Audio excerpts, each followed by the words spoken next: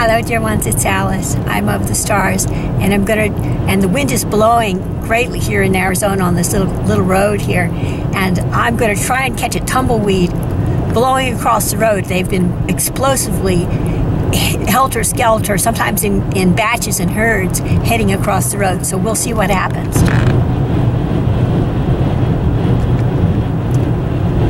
The wind is actually. It's blowing the car sideways too. I just have a quick uh, surprise present for you today.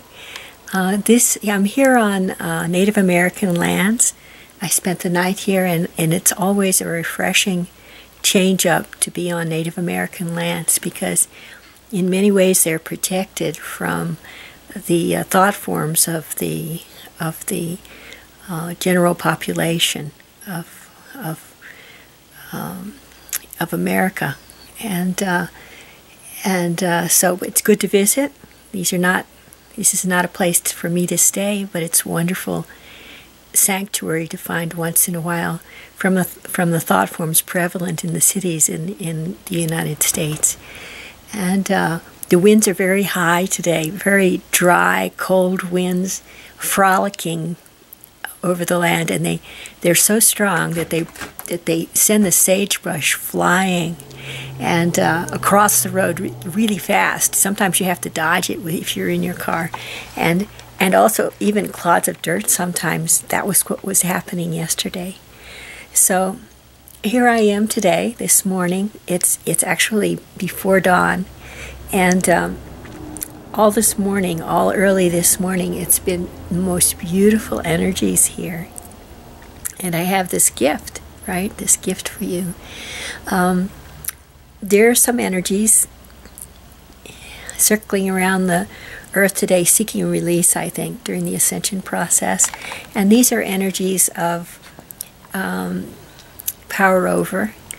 And uh, it, it has to do with the notion that a person is like God, you know, and that everybody else is just a part of that person, and that that one person has the power over all the other people who aren't really people, right?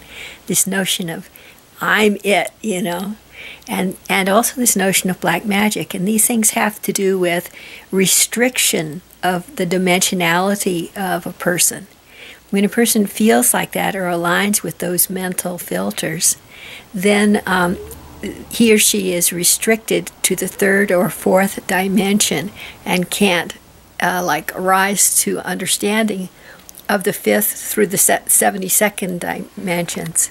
So it's a very um, it's a very intensive learning experience when a person believes that they are God and that everybody else is a part of them and not really human. You know that they can do like do whatever they want because this is just their world. As Frank Sinatra used to say, I had it my way, you know. so the thing to do when you run across these energies, this is something that I found out today. When I run across these energies on the psychic plane, like trying to make me a part of them, I just say to that to that person or that energy I say, if you if you talk to me, you'll lose your power. Uh, this works like a charm today. I don't know about tomorrow.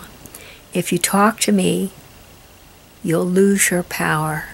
Say it with self confidence and without too much emphasis, okay? More like, um, this is just the way it is, you know? so, my gift, my blessing, have a wonderful day.